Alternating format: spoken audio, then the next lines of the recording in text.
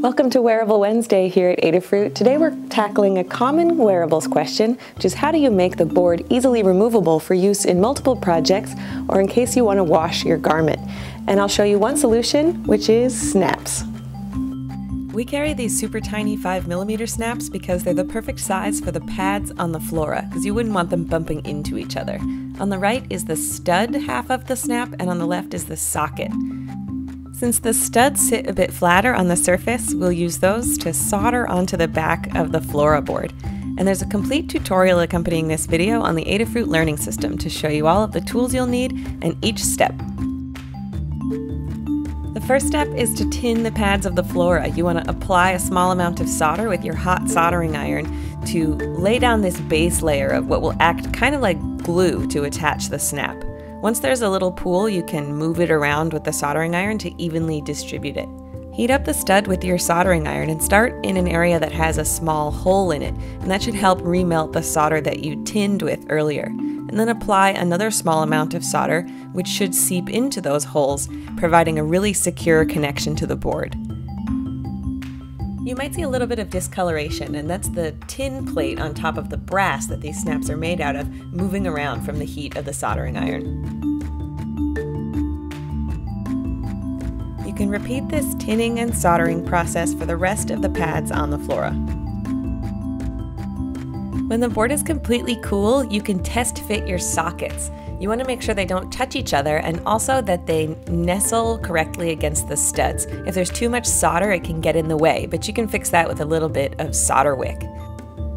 Next, it's time to figure out where we're going to sew the sockets. So you can take the snappy Flora board and just kind of press it down and wiggle it on your garment. And the points of the studs will make small marks where you'll sew your sockets.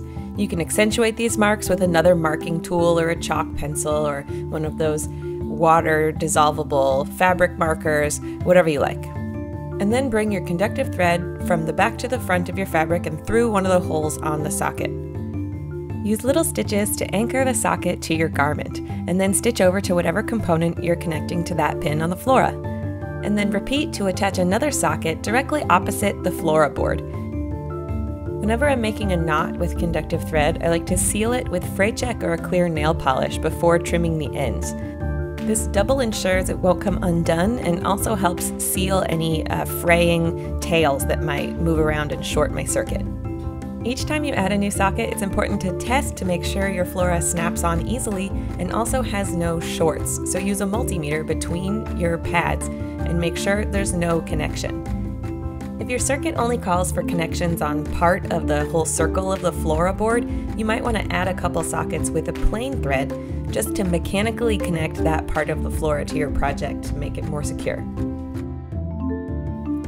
Once you've got all the components of your circuit connected, you can snap your Flora into position as well as any other boards like this GPS module I also made snappy, and then plug in your power supply and use the onboard power switch to power up your project. If you make your Flora removable, you could use it in many different projects as you're often only wearing one of them at a time. Here's a jacket we made with LEDs around the collar and a GPS on the sleeve. And all you have to do to take it off is power down your project, disconnect your battery, and unsnap it. I'll show you how to make this jacket in a future episode, so don't forget to subscribe to our channel here on YouTube.